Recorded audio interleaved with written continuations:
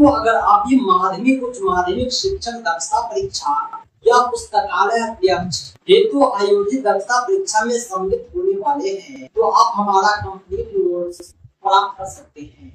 पाठ्यक्रम आधारित कंप्लीट तैयारी के लिए हमारा नोट सफिशियंट है, जिसमें शिक्षण कौशल के अतिरिक्त संबंधित विषय के वस्तुनिष्ठ प्रश्न तथा लघु उत्तरीय और दीर्घ उत्तरीय प्रश्नों के कलेक्शन आप प्राप्त कर सकते हैं।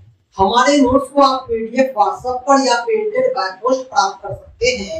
आप संपर्क करें seven six three one three one four nine four eight पर। इस नंबर पर आप कॉल भी कर सकते हैं व्हाट्सएप भी। चाहे आप हाई स्कूल के किसी भी विषय के शिक्षक हो, चाहे प्लस टू विद्यालय के किसी भी विषय के शिक्षक हो, चाहे लाइब्रेरियन हो, पुस्तकालय अध्यक्ष हो, दक्षता परीक्षा में आपसे 25 प्रश्न शिक्षण कौशल के पूछे जाएँगे। आज की इस वीडियो में हम मोस्ट इम्पोर्टेंट टीचिंग स्किल के 25 क्वेश्चन को देखेंगे। आपकी परीक्षा में 25 प्रतिशत प्रश्न शिक्षण कौशल से होंगे।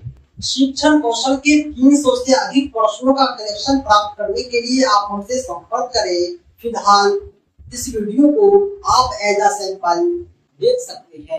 तो आइए, बगैर किसी देरी के हम टीचिंग स्किल शिक्षण कौशल के प्रैक्टिस सेट नौ की शुरुआत करते हैं इक्यासी नंबर।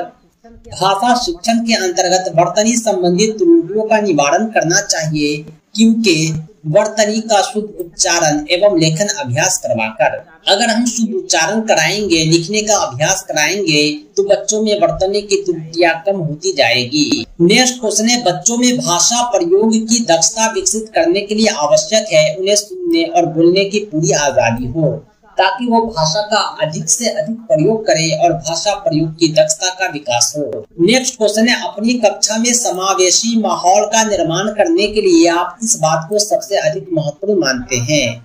क्लास में आप समावेशी शिक्षा चाहते हैं, समावेशी माहौल चाहते हैं तो सबसे बेहतर ये है कि सभी बच्चों को, सभी भाषिक प्रकारियों को समान रूप से संपादित करवाना। ताकि सभी बच्चे सब क्रिया करेंगे, आपस में बात करेंगे अनेकों भाषा में बात करेंगे तो इस प्रकार जो है समावेशी माहौल पैदा होगा। नेक्स्ट क्वेश्चन है, बच्चों की भाषाई क्षमताओं के आकलन के लिए सर्वाधिक सहायक है। बच्चों की भाषाई क्षमताओं का आकलन करना है तो बच्चों की पारस्परिक अनौपचारिक बातचीत होनी चाहिए। यानी ऐसी बातचीत जिसमें वो खुली तौर पर आजादाना तरीके से अपने घर की, अपने घर की बात करे। जिस तरह घर में, खेल में वो बतियाते हैं। नेक्स्ट क्वेश्चन है कौन सा प्रश्न कक्षा में बहुभाषिकता को पोषित करता है? बहुभाषिकता यानी ऐसा प्रश्न पूछिए कि बच्चे को ज़्यादा से ज़्यादा बोलने का अवसर मिले। अगर आप बच्चों से कहते हैं कि फूलों के नाम अपनी भाषा में लिखो तो कोई गुलाब को कुछ और लिखेगा। किसी फूल को दस बजिया लिख देगा, किसी को सत बजिया लिख देगा। यानी वो बहुभाषिकता को पोषित कर रहा है। नेक्स्ट क्वेश्चन है 86 इस कहानी में पहाड़ी घाटी शब्दों का उपयोग हुआ है। पहाड़ी क्षेत्रों से जुड़े शब्दों को सोचकर लिखो, यह अभ्यास प्रश्न किसका उदाहरण है? इस प्रकार बच्चों को सोचने का अवसर देना, पढ़ाई के साथ जोड़कर, पाठ के साथ जोड़कर संदर्भ में व्याकरण कहलाता है। शिक्षण प्रक्रिया को रुचिकर बनाने में शिक्षण सामग्री सहायक होती है। शिक्षण प्रक्रिया को रुचिकर बनाना है तो शिक्षण सामग्री का उपयोग होना चाहिए, लेकिन यह वैविध्यपूर्ण होना चाहिए। जब जिसकी जितनी आवश्यकता हो audio aids visual aids audio visual aids उसका आप प्रयोग करें। नेक्स्ट क्वेश्चन है, भाषा कौशलों के संदर्भ में कौन सा कथन उचित है? भाषा के चार कौशल होते हैं, सुनना, बोलना, पढ़ना, लिखना। इसके संदर्भ में जो उचित कथन है, वो ये है कि भाषा के चारों कौशल परस्पर अंतर संबंधित है।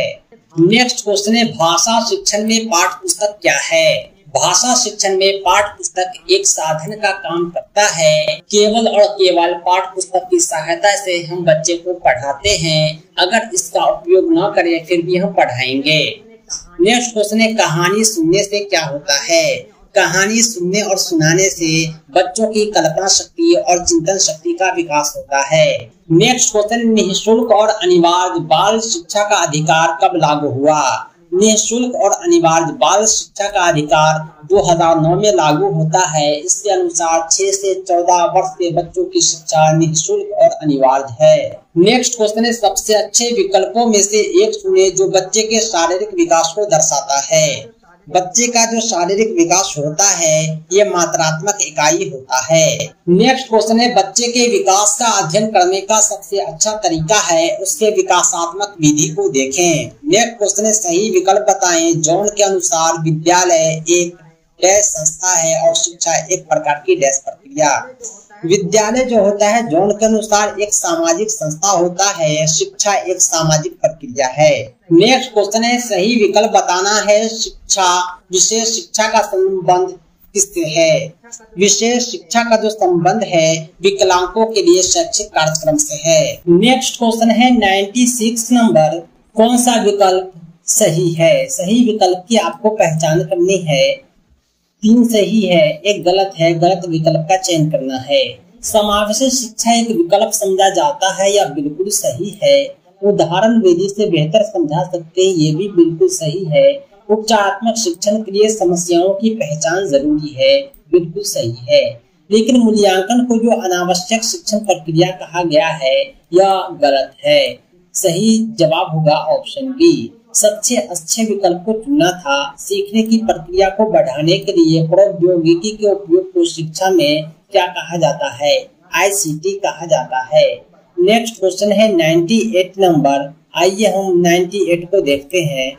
मूल्यांकन का प्राथमिक उद्देश्य क्या होता है? मूल्यांकन का प्राथमिक उद्देश्य है सीखने की प्रक्रिया के दौरान होने वाले व्यवहार परिवर्तन को जानना। सतत और व्यापक मूल्यांकन में व्यापक शब्द का अर्थ क्या है? व्यापक शब्द का अर्थ है शैक्षिक और शैक्षिक विकास। बच्चों को वर्ग कक्ष के अंदर, वर्ग कक्ष के बाहर संपूर्ण विकास होना चाहिए, शिक्षा के क्षेत्र में भी और शिक्षा से रिलेटेड हर क्षेत्र में भी।